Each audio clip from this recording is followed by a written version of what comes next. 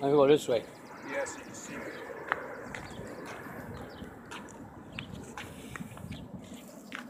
can use this grass though.